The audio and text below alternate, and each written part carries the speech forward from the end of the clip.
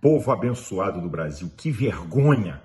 Lula fazendo política baixa em cima de cadáveres com a desgraça do povo do Rio Grande do Sul. Vamos assistir? Olha, eu acho que esse cara está ficando senil perturbado mental. Olha a fala política do cara. Quer disputar 10 eleições, depois você vai ver ele sorrindo, a deputada Maria do Rosário sorrindo, não é? com, a, com a assinatura da criação da secretaria com status de, de ministério. Assista isso daí, assista. É para é pra chorar, não é para rir não. Olha, olha, olha a baixaria eleitoral com a desgraça do povo do Rio Grande do Sul. Eu já falei como lá em cima, eu não estou afim de ir embora, me deixa aqui, porque ainda preciso disputar umas 10 eleições, faz uns 20 anos.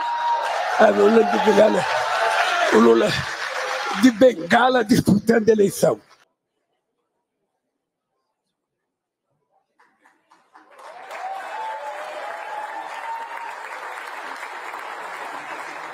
Essa gente não tem consternação pela dor, pelo sofrimento alheio, sorrindo, política baixa. Olha o que, esse cara faz. Pega o deputado Paulo Pimenta do Rio Grande do Sul, dá ele status de ministro, para poder gerar toda essa crise.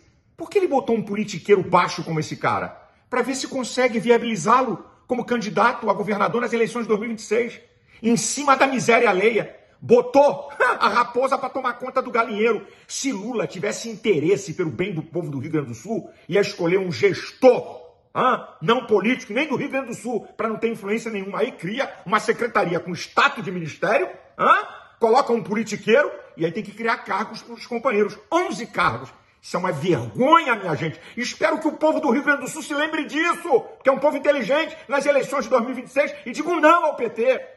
Agora, deixa eu virar a página. Eu estou fazendo uma segunda campanha, essa é diferente. Nós vamos comprar geladeiras, fogões, mesa de quatro cadeiras e um jogo de panelas. Porque essa gente perdeu tudo. E vou enviar ao Rio Grande do Sul. As Casas Bahias vai me entregar lá, para o nosso pessoal na ponta que está distribuindo, por um preço baixo.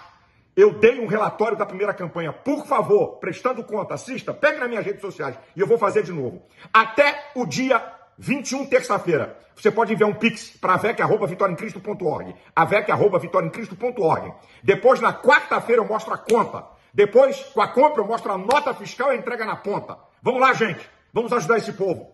Deus abençoe você, sua família. Deus tenha misericórdia do povo do Rio Grande do Sul. Deus abençoe o Brasil.